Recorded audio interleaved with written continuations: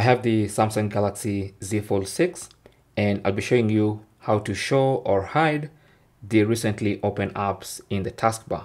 So when you open the taskbar, you have these apps on the taskbar and then you have these extra apps that are basically the most recently opened applications. So if you tap on the most recently opened applications, you can see those are settings and Google Play Store. And that's the same thing you're going to see here. Okay. Now, you can choose whether to show or hide the most recently apps, uh, or basically the most recently opened apps in the taskbar. And to do that, just go into settings. Under settings, go to display, and then under display, scroll down to the taskbar, open it up, and then you can see show recent apps. So it's currently showing two, and you can see them here. Now, if you want to hide, you can just turn that off.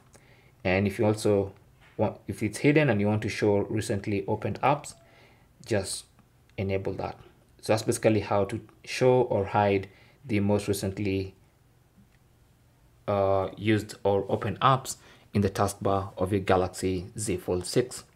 Thanks for watching. Comments and questions down below and good luck.